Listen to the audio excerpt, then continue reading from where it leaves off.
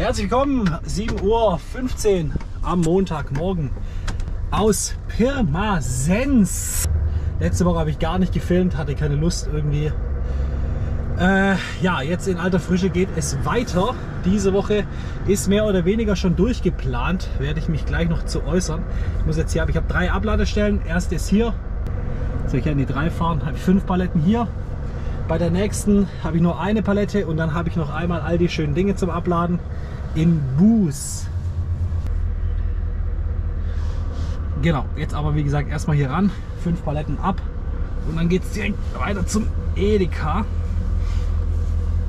Achso, das Ganze habe ich übrigens am Freitag geladen bei dieser einen Bude da. Äh, der ein oder andere hat es in den Kommentaren auch erkannt. Ich bin ja immer ein bisschen vorsichtig mit Firmennamen nennen und so da wo ich so eh wohl drei, vier Stunden gewartet habe, wo man immer an, der, an die Rampe fährt, dann wieder weg, dann wieder ran, dann wieder weg. Eine riesen Scheiße. Aber ich war diesmal war ich freitags schon um 10 Uhr da. Habe zwar auch, ich glaube, insgesamt vier Stunden gebraucht, aber äh, ja, es ging irgendwie, weil ich ja auch drauf eingestellt war. Aber da war es so voll, da war es so voll, dass ich zum Papiere holen musste ich auf der Bundesstraße stehen bleiben, weil einfach du nirgendwo stehen bleiben konntest. Nirgendwo. Also das ist echt sehr, sehr fragwürdig da. Ach ja, hier fällt mir noch ein. Mir hat jemand äh, Sticker geschickt. Und ich, ich habe mich erst gefragt, wo der meine Adresse hat. Ich habe also praktisch meinen Troll, den ich hier in der Scheibe habe, habe ich jetzt mit Deutschlandfahne auch und in, in größer auch. Aber wenn dann eher der. Ich muss halt mal überlegen, ob ich den meinen schönen schwedischen Troll. Ich habe ja hier schwedische Trolle da an der Türe ob ich den wirklich wegmachen soll oder nicht. Ich habe am Freitag noch überlegt, ob ich in die Waschstraße fahren soll. Aber gefühlt äh, wirklich ohne Spaß, es regnet ja jeden Tag irgendwie. Also es lohnt sich einfach nicht zu waschen. Äh, es würde sich schon lohnen von der Verschmutzung her. Aber ja, und dann habe ich gedacht, wäre ich am Freitag in die Waschstraße gefahren, weil heute Morgen hat es auch wieder geregnet. Dann sähe es jetzt wieder so aus. Also das ist momentan alles irgendwie ein bisschen nicht so geil. Ja, Junge, das ging hier aber rucki zucki. Der Termin beim Edeka ist irgendwie erst um 11. Jetzt, ja, ich glaube in St. Ingbert, das ist eine Stunde von hier oder so. Vielleicht anderthalb. Maximal. Es ist sogar weniger als 80 Kilometer. Also halb neun bin ich schon da. Genau, dann fahre ich nachher eben noch das Bus, Bus, Bus, wie auch immer. Da schreiben jetzt bestimmt wieder tausend Leute in die Kommentare, wie man es richtig ausspricht. Ähm, und dann von dort nach Neunkirchen. Den Kunde kenne ich, da lade ich normalerweise dann, oder da lade ich immer TK-Backwaren. Dann mit dem nach Brena, das werde ich aber heute nicht mehr ganz schaffen bis da hoch. Und da vielleicht auf dem Weg da hoch, ich meine, ich fahre da an ein paar Waschstraßen vorbei. Gucke ich mal, dass ich vielleicht heute den LKW wasche. Auch wenn es wahrscheinlich nichts bringt, aber egal, dann ist wenigstens mal der grobe direkt runter. Und Genau, dann morgen in Brena ausladen und dann direkt dort wieder laden für die Schweiz. Und zwar, genau, das ist dann die Tour, wo ich letztes Mal die Strafe bezahlt habe, weil ich zu früh die Straße hochgefahren bin. Das mache ich natürlich diesmal gleich nochmal am besten. da kommt hier ein Bentley. Jo, klar, alles klar. Genau. Also Altishofen heißt es, glaube ich, in der Schweiz, genau. Der Brenner Altishofen, ja, und dann mal gucken. Also die letzten Male die letzten Male war es ja immer so, dass er nach dem Ausladen in der Schweiz nichts hatte. Ich hoffe, diesmal ist es nicht so. Ich habe nämlich keinen Bock am Mittwoch dann in der Schweiz zu sein und wieder da irgendwie dann erst Donnerstag was laden zu können. Deswegen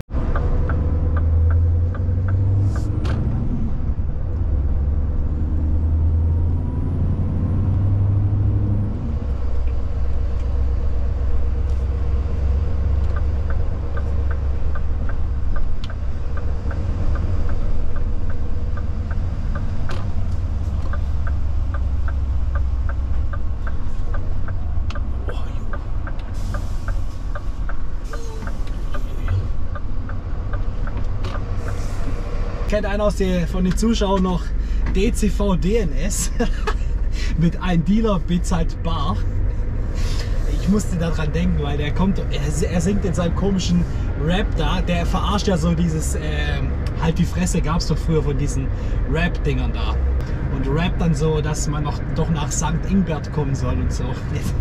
Ich musste halt dran denken, weil ich jetzt ja hier in St. Ingbert bin. Ich bin sogar St. Ingbert Mitte rausgefahren. Genau über St. Ingbert, St. Ingbert Mitte, genau dahin soll man kommen, zu DCV DNS, um sich dann mit ihm zu kloppen. Junge, Junge, Junge, das läuft ja heute hier wie am Schnürchen. Jetzt noch mal eine halbe Stunde bis nach Bus. Bus, Bus, Bus.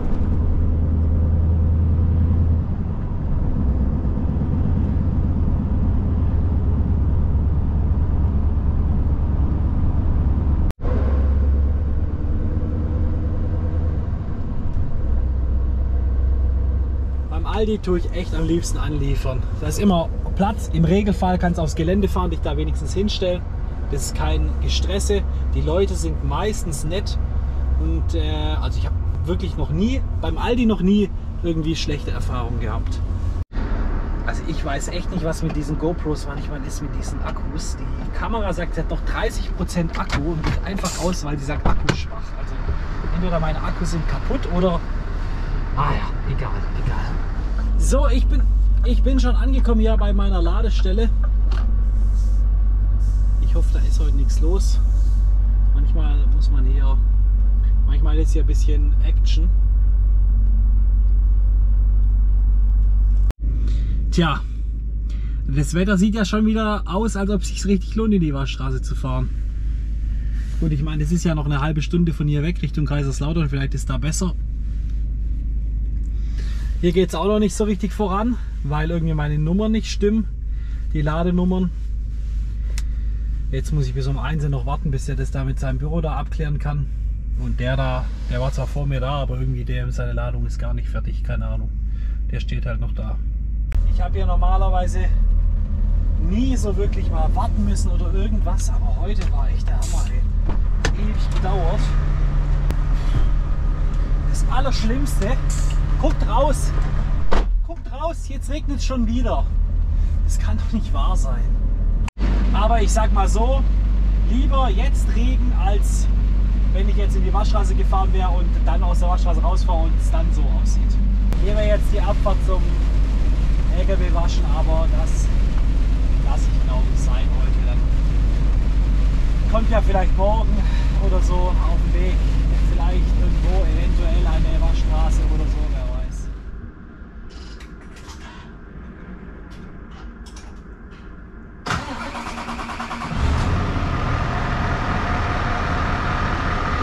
Dienstagmorgen aus Thüringen oder zumindest an der Grenze zu Thüringen.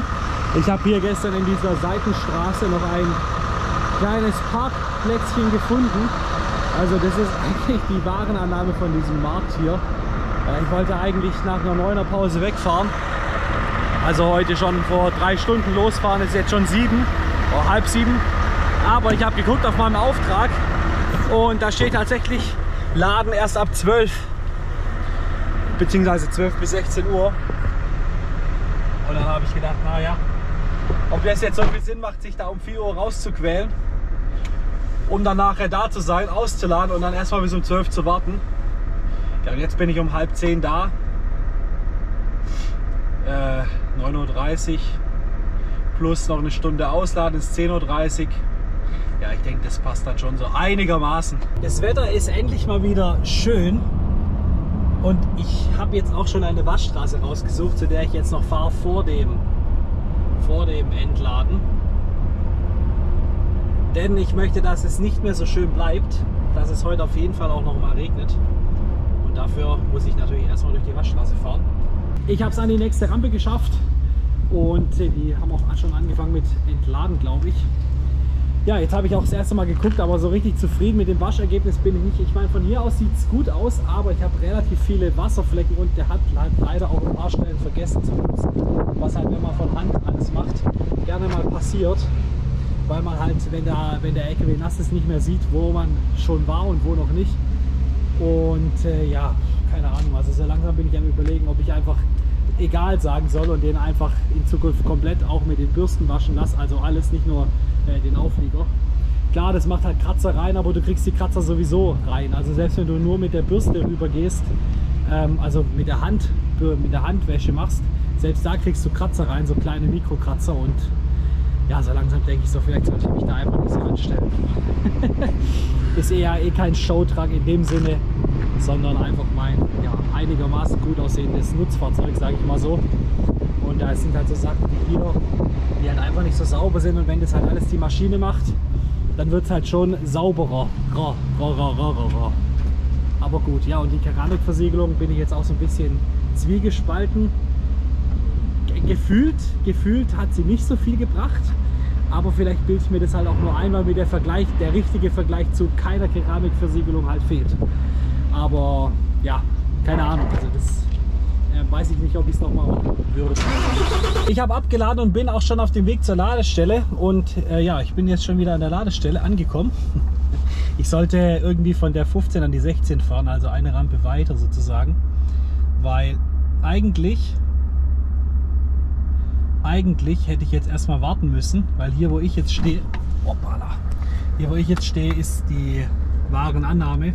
Aber der Versand hat irgendwie noch zwei LKWs jetzt zum Entladen vor mir und dann hat er von der Warenannahme war so nett und hat gesagt, er lädt mich jetzt. Das heißt, ich musste nur von der hier rüberfahren. Und ja, so wie das jetzt hier momentan wieder aussieht, war mein Waschgang sowieso. Also ist jetzt nicht so tragisch, dass es nicht ganz so sauber geworden ist, weil ich glaube, das wird demnächst sowieso wieder regnen. Ich glaube, die sind fertig. Ähm, ich werde jetzt auch gleich den Kühler mal tanken gehen und da war es nämlich hier direkt mit äh, AS24. Die ist praktisch, äh, ich bin jetzt genau hier. Das heißt, ich fahre nachher hier raus und dann einmal darüber in das Gewerbegebiet. Dann mache ich den Kühler voll und Zugmaschine voll dann habe ich auf jeden Fall genug Diesel für den Rest von der Woche. Und ich muss auch sagen, Preis ist wieder ein bisschen günstiger geworden. Ich habe ja auch schon 1,85 bezahlt brutto. Aber das ist natürlich immer noch 1,45 habe ich ja zu, ich weiß auch, wo äh, ich angefangen habe, 2020, für einen Euro getankt netto. Jetzt halt 45 Cent mehr. Das Ganze hat doch einen Moment gedauert, aber ich bin immer noch gut in der Zeit. Keine Luft mehr. Ja, schaut mal, was ich da reinfahre. Schaut mal, was ich da reinfahre. Ich krieg schon die ersten Tropfen ab. ja, gut, egal. Das habe ich auch übrigens noch nicht erlebt, dass mich die Bundeswehr überholt. Mit dem gepanzerten Iveco.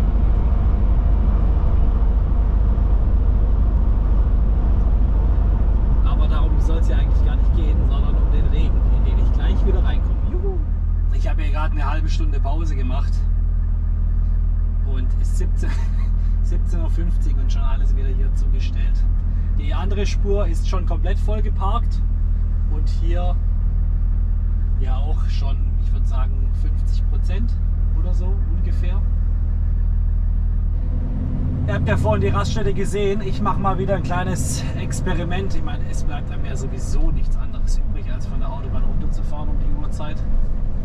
Ihr müsst jetzt so eine... Oh ja, guck mal, das sieht doch gar nicht mal so schlecht aus.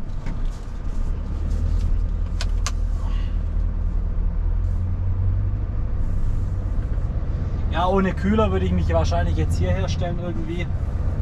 Aber wenn da jetzt wirklich Leute wohnen, ist das natürlich scheiße will ja auch niemand auf den Sack gehen. Ne? Ja, wir haben Mittwochmorgen und es geht wieder los. Mein Kühler scheint irgendwie ein Problem zu haben. Das jetzt natürlich ganz toll ist. Hier seht ihr aktiver Gleichrichter. Ja, jetzt weiß ich noch nicht, ob der noch läuft oder nicht. Keine Ahnung, jetzt kriege ich erstmal anrufen. Oh, Mann, auf sowas habe ich wieder so richtig Bock, das kann ich euch sagen. Ich habe mich nämlich schon gewundert, warum der so komisch läuft. Ja, also jetzt ans Telefon und dann mal gucken. Warte mal. Ah je. Yeah. Jetzt scheint es ja. Jetzt ist der Alarm weg.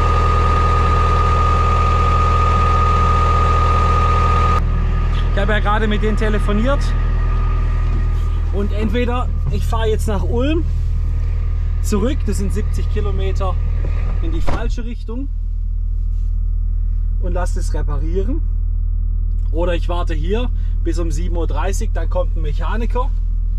Oder ich riskiere es und fahre jetzt weiter. Weil jetzt scheint das Ding ja irgendwie wieder zu funktionieren. Mann. Ach, sowas kotzt mich schon wieder an, wirklich. Wisst ihr, jetzt ist halt echt die Frage, fahre ich jetzt weiter oder nicht?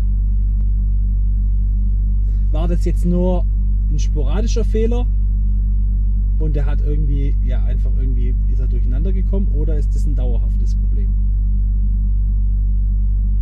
Also glaube ich, ich riskiere es jetzt erstmal und fahre einfach mal weiter. Und im Zweifelsfall muss ich dann halt nachher nochmal den Service rufen oder irgendwie so. Dass mir sowas halt natürlich auch passiert, genau wann passiert ist, wenn man TK drauf hat. Jedes Mal. Bei dem Öldrucksensor mit dem Schmitz war es das gleiche Problem. Heute zur richtigen Zeit über die Straße. Guck mal da. Da stehen sie wieder. Ich glaube, die haben heute wieder kontrolliert. Ja. Einmal gucken. Es geht weiter im Text. Es ging ja heute richtig, also richtig schnell. Ich habe zwei Kaffee getrunken und dann war das alles schon erledigt. War ich kurz beim Zoll. Mein Kühler läuft auch wieder irgendwie. Jetzt bin ich um 11.20 Uhr in Altishofen. Ja, Im Regelfall haben die da aber dann irgendwie bis jetzt immer Mittagspause gemacht, wenn ich angekommen bin. Das wird wahrscheinlich heute auch wieder so sein.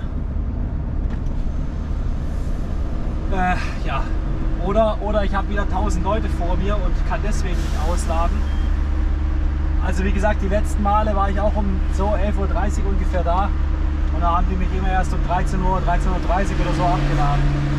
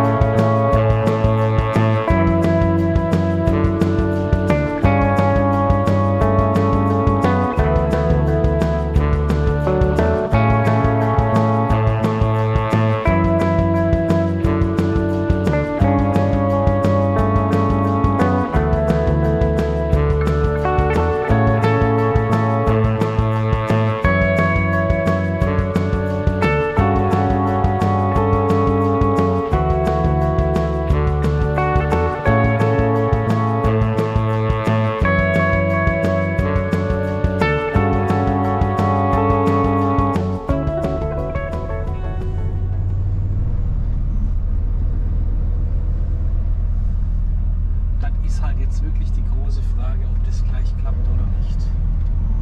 Wie steht denn da? Der einzige Kühler auf. Naja, wohl einer ist noch an der Rampe.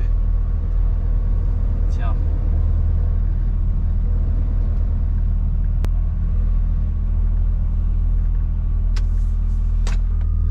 Ja, es kommt wie es kommen muss. 11.30 Uhr da. Und wann laden sie mich aus? 13 Uhr, tipptopp. Passt perfekt. Ich glaube, ich habe nämlich ziemlich genau eine Stunde zum, zur Ladestelle fahren. Gucken wir mal, wie weit das weg ist. Ach Junge, echt dieses Kühlerfahren. Es so langsam nervt es mich. Es ist immer diese Scheiße mit diesen Terminen.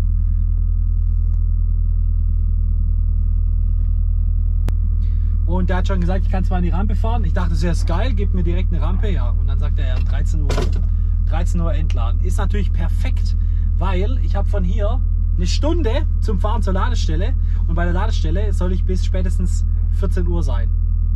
Wenn nämlich also um 13 Uhr abladen, dann dauert es eine halbe Stunde oder was, dreiviertel Stunde. Sie Ausladen. Ziel um 12.24 Uhr. Und dann habe ich natürlich wieder das Problem, die Ladestelle zu schaffen. Na, der Klassiker wieder, eineinhalb Stunden gewartet, 20 Minuten ausgeladen. Jetzt bin ich ungefähr 14.30 Uhr, 14.40 Uhr bei der Ladestelle da. Also, es läuft. Lade die andere Ladestelle Sie erreichen Ihr Ziel um 14.42 Uhr. zwei Kilometer weg. Das sollte ich dann also auch noch auf jeden Fall schaffen. Auflieger ist jetzt nicht ganz hundertprozentig trocken. Ich hoffe einfach mal, der macht da jetzt keinen Stress. Das war mal Turboladestelle. Ich habe aber auch keine Zollpapiere oder so gekriegt. Keine Ahnung, das habe ich jetzt mal kurz gefragt, ob das so passt. Aber ich denke mal, die kriege ich dann nachher alle an der Grenze.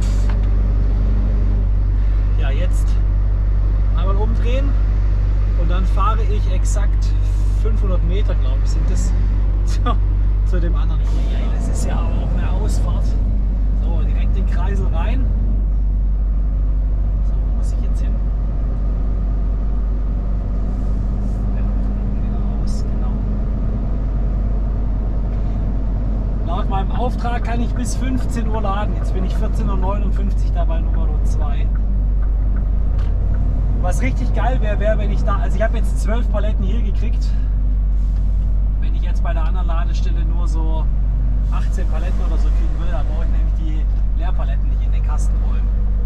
Aber so wie ich mein Glück kenne, kann ich jetzt gleich erstmal da noch umräumen.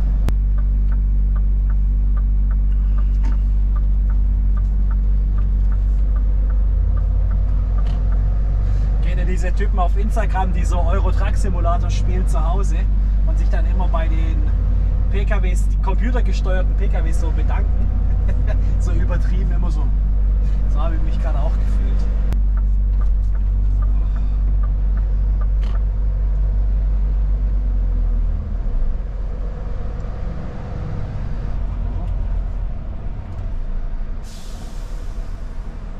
Junge.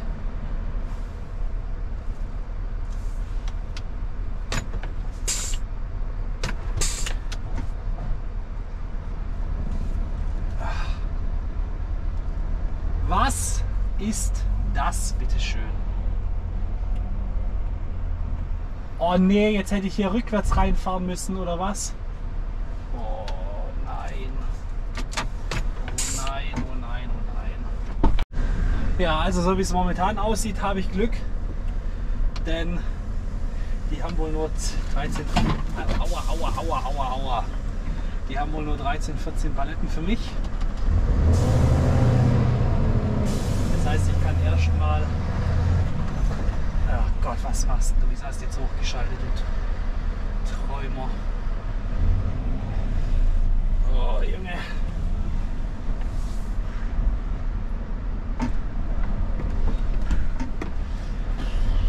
Ja, das ist eine.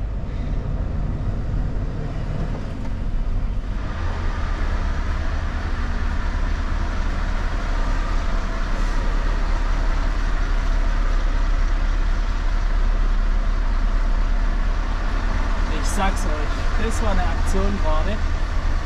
Alter Schwede. Da wäre es fast besser gewesen, ich wäre hier einfach rückwärts reingefahren, ohne Spaß. Ja, Mann, Junge, Junge. Wie beim Mitnahmestapler fahren. Alter.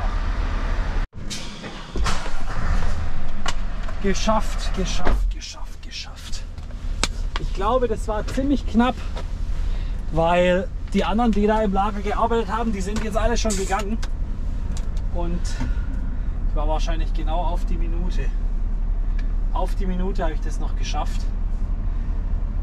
War natürlich sehr abenteuerlich hier. Aber dann doch alles halb so wild. Also ich weiß nicht, was mit dieser Kamera da los ist oder dem Akku, keine Ahnung. Ich habe ihn gefragt, ob es nicht besser wäre rückwärts rein, ja, wobei, wenn ich das jetzt hier sehe, nee, so wirklich besser ist das wahrscheinlich auch nicht, oder ist es nicht.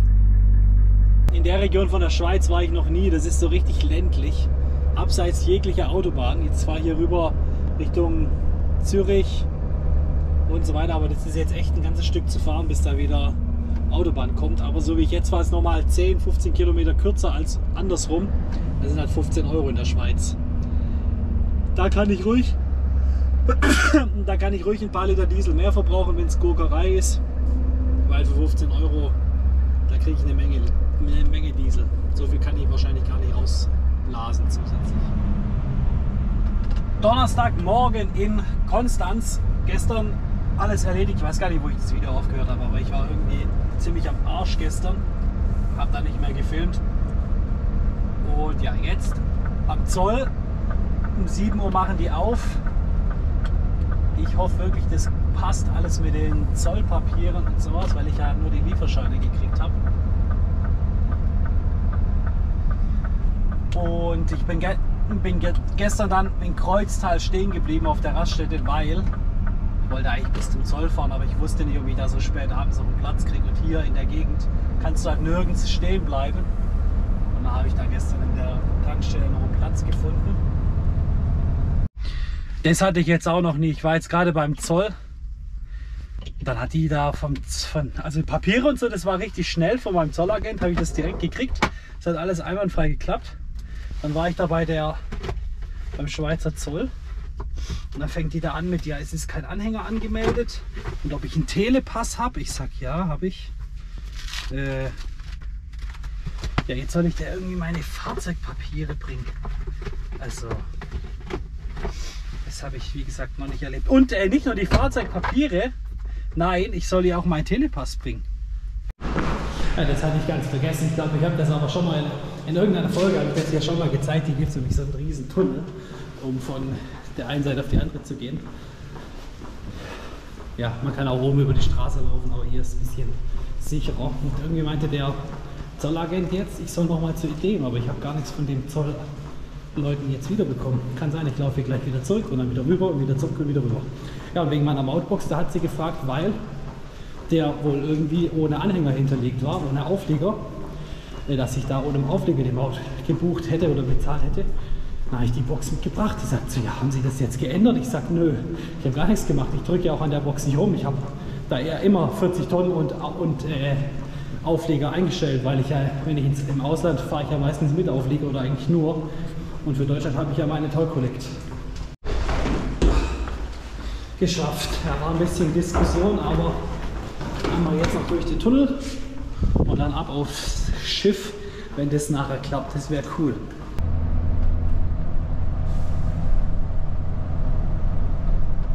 Da ist jetzt dieses Fährterminal, das ist hier allerdings alles ein bisschen einfacher als in England zum Beispiel oder so.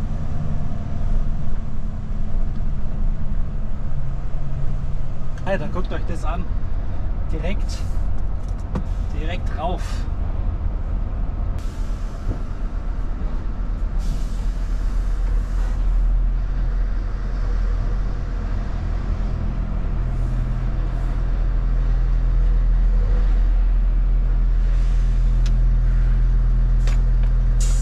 Navi bewegt sich sogar passend zum, zum Schiff.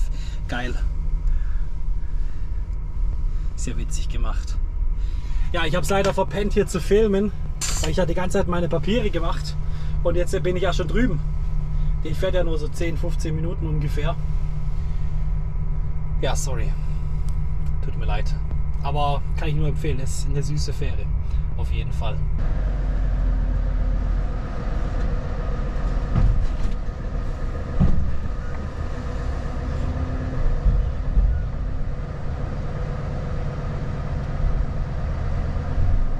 Viertel nach zehn bin ich jetzt aber beim ersten Kunden. Ich schätze mal, komme ich um elf wieder weg. Dann ist es von da bis Memmingen, ist um die Ecke. Und dann habe ich in Memmingen auch direkt wieder eine Ladung für Pforzheim. Das heißt, heute Abend bin ich dann zu Hause. Dann fahre ich morgen von zu Hause aus nach Pforzheim. Mir wurde schon gesagt, es ist momentan wieder schwierig mit den Touren. Also Touren gibt es natürlich, aber da muss ja auch was verdient sein. Nur ist jetzt seitdem der Kühler da schon wieder irgendwie Probleme macht, ich bin auch am überlegen, ob ich nachher nicht bei, bei TKV doch noch vorbeifahre, dass sie sich das mal angucken. Vor allem wenn ich nachher wieder TKV lade. Nicht, dass es dann irgendwie Probleme gibt. Erster Kunde hier in Altus Ried. Ich habe den noch vor, ja, der noch, den noch vor mir. Der hat aber auch nur 10 Paletten oder so, ich. Habe gerade schon meine Paletten alle in den Kasten geräumt, weil nachher beim TK-Laden ist natürlich ohne Tausch. Das heißt, da muss ich dann alles wieder rausräumen. Äh, hätte ich alles rausräumen müssen und jetzt hatte ich ja kurz Zeit. Jetzt muss ich nachher noch die 12 Paletten, die ich hier kriege, runterräumen in den Kasten und dann wäre das auch erledigt.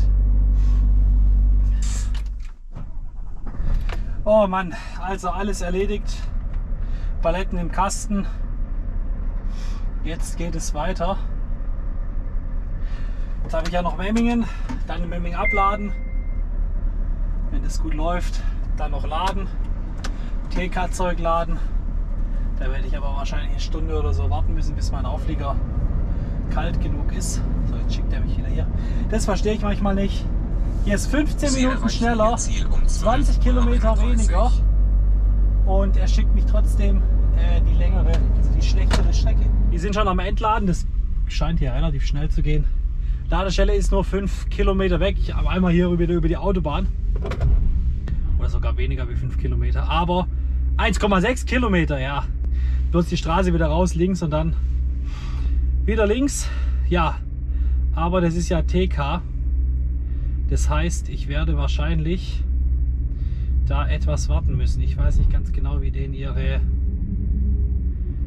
wie denen ihre äh, Dingsbums sind wegen Vorkühlung. Ja. Ich habe es jetzt zum nächsten Kunden geschafft. Aber, also, das war jetzt seit langem mal wieder, dass die Leute richtig gut drauf sind da. Normalerweise sind die alle immer irgendwie pissig. Das ist auch so ein Ding, was mich so echt nervt bei dem, bei dem Kühlergeschäft hier. Immer diese schlechte Laune überall. Da kriegt man nämlich selber schlechte Laune. Und ja, die haben dann erst so gesagt, oh, da musst du wahrscheinlich bis heute Abend warten. Das ist noch nicht fertig, das ist jetzt irgendwie in dem Schockfroster, keine Ahnung. Ja, dann kam der Typ aus dem Lager, hat gesagt, nee, also eine Stunde, eine Stunde ungefähr muss ich da jetzt noch warten. Dann kann ich jetzt die nächsten Papiere mal fertig machen von der letzten Tour. Und dann, äh, dann, dann, dann, dann, dann lade ich das mal. Dann komme ich heute auf jeden Fall noch. Ich fahre dann nämlich nach Hause. Weil bevor ich mich jetzt, ich muss ja nach Pforzheim, wenn ich hier quer über die Alp fahre, dann ist das fast kein Umweg. Bevor ich dann irgendwo dahin, hier irgendwo in der Gegend heute Abend keinen Parkplatz finde, dann lieber so. Oh, geschafft, geschafft, geschafft. Genauso wie diese Folge geschafft ist. Ich hoffe, ihr hattet Spaß. Das war diese Woche.